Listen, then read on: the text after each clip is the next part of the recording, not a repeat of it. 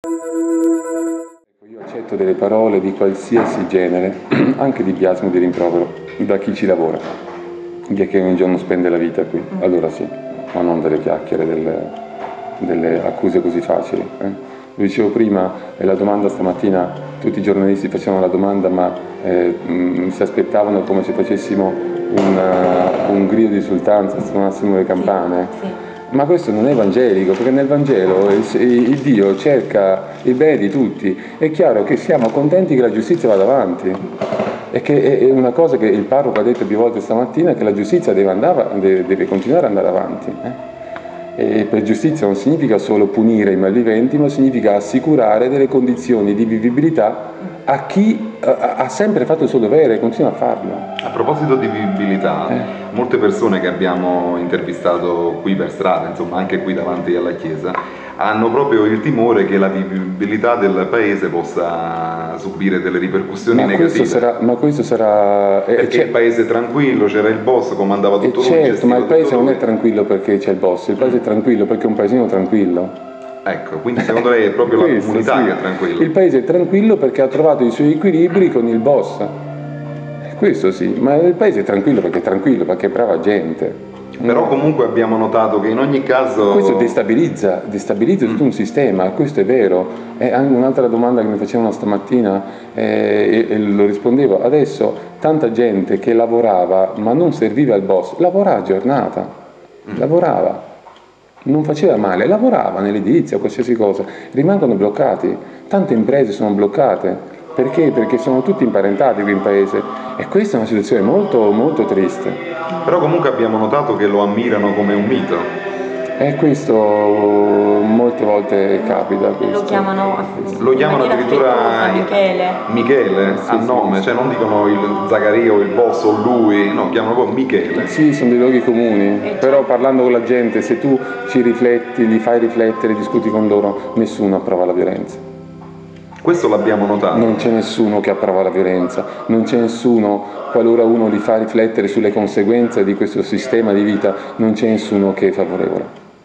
Serve una bugia. Sentirei- io mi sentirei in colpa se, se parlassi, a parte io sto qui, ci sto qui perché uno crede nella missione che fa e ci sto qui bene, perché tanta gente ti vuole bene e si lavora, no? Eh.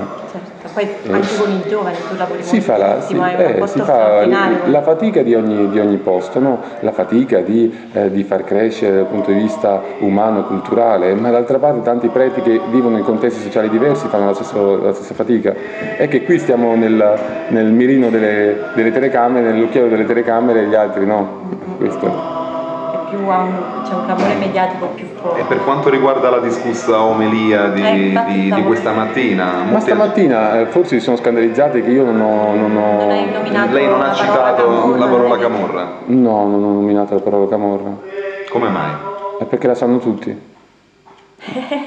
Secondo lei non, che non- senso ha? secondo lei non c'era da, da- da- commentare o comunque da, da elargire qualcosa? Sulle stamattina se fossero stati attenti i giornalisti, purtroppo i giornalisti stanno attenti a quello che vogliono sentire. Io ho preso spunto dal Vangelo, ho detto noi viviamo in una terra maledetta.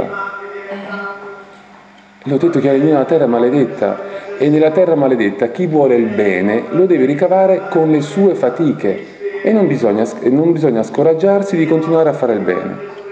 L'ho detto chiaramente, poiché non ho detto la parola magica, è come la, la password di un computer, non si attivano. Eh, La nostra terra è maledetta, è maledetta perché? Perché il bene si paga a caro prezzo, ma in ogni, in ogni luogo, qui in maniera particolare. Allora il cristiano deve avere il coraggio di pagare di, sua, di, di proprie spese. La sola appartenenza a questo paese, tu già eh, sai queste cose, la sola appartenenza ti impedisce qualsiasi sbocco lavorativo, l'impiego sociale.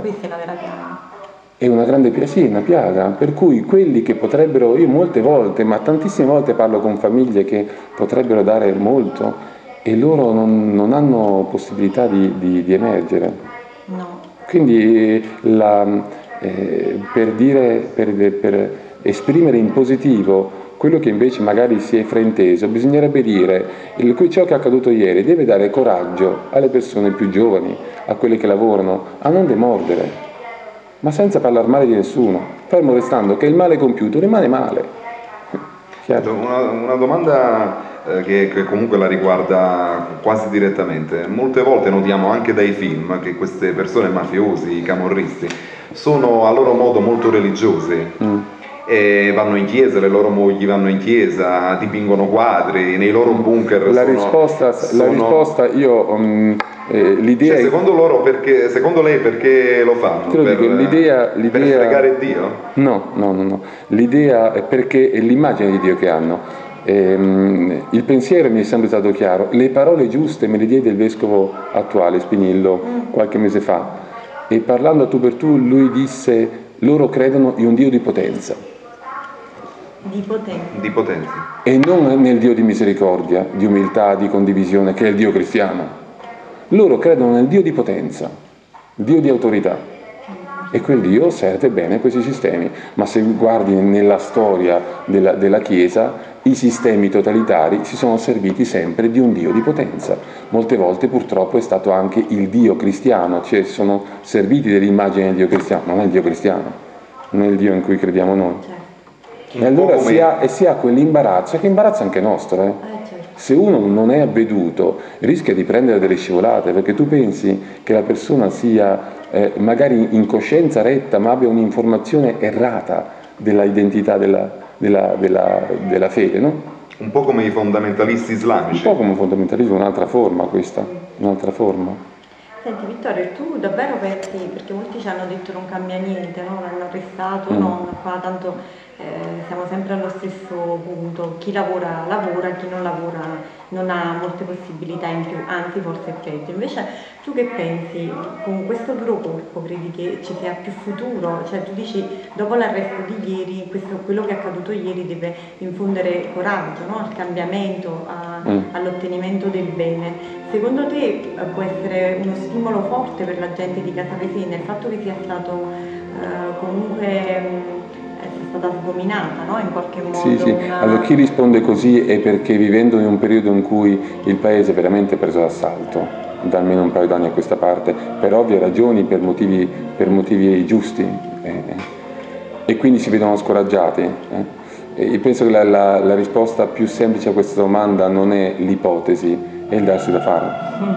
okay. Si cambia? Sì, se vogliamo cambiare si cambia. Cioè non, non ci sono certezze. Quando sei arrivato qui a Casa Tre anni fa. Tre anni fa? Come viceparroco, sì. Però già c'eri... Vivevo al Santuario. Quindi diciamo il territorio lo conosci da... Ma non, non frequentavo la gente, andavo all'università, studiavo, non frequentavo la gente. E l'impatto com'è stato all'inizio? Ma l'impatto la gente è molto accogliente, molto accogliente. Poi, poi è adorato. Molto accogliente. Quando lei ha... Poi è, è di cultura paesana, eh, quindi bisogna, bisogna entrare nel loro linguaggio, si fa fatica. Si fa I fatica. giovani che frequentano l'oratorio, eh, quando tu parli con loro, cioè, in loro senti che c'è comunque questo influsso del eh, linguaggio camorristico, della visione del mito, eh, oppure sono bravi ragazzi che veramente... Ma la visione del mito i ragazzi ce l'hanno per natura. Mm. Eh, ce l'hanno del calciatore, ce l'hanno del cantante. Quelli che frequentano la parrocchia di queste cose non ne parlano. Non ne parlano. Eh, il problema è che non si, non si, riesce a arrivare a tutti. Di questo signore, lo chiamavano, ma lui era un commerciante, anche se lo chiamavano utubista, perché qualcuno ci ha detto che era un bravo. Ma non ho mai capito il mestiere che facesse, però i figli venivano, anzi davano una mano, una mano molto, molto bravi. Dalle 13 e 15 eh, anni, sì. maschio e femmina o tre Maschio e femmina. Era molto bravi a lavorare. E la moglie addirittura insegnava eh, all'oratorio. Insegnava, lei ha una scuola di danza? Ah, lei ha proprio una scuola di eh, danza. Eh, eh una scuola di danza. Ma qua a casa Pessina? Sì. Ah, non sapevo che era sfuggito come... Però ne... Peccato. Quindi... Se uno guarda la sofferenza della gente, non si può gioire. Puoi dire, ti può dar coraggio e andare avanti, eh? Eh, non puoi gioire. Io non, da cristiano, da prete, non canterò mai vittoria quando muore il nemico. Eh, Gesù Cristo è morto lui per gli altri. Questo non significa che la giustizia, che l'ingiustizia sia bella, che la, che la violenza sia giusta. No, questo non significa. È molto sottile perché è facile fraintendere, no? Sì, essere, essere, essere, presi per un, per, un, per un, timoroso, per un connivente, per una condiscendente, poi in una mentalità in cui la Chiesa ha ancora una figura istituzionale di immagine, il Dio potenza, allora è facile essere frantesi.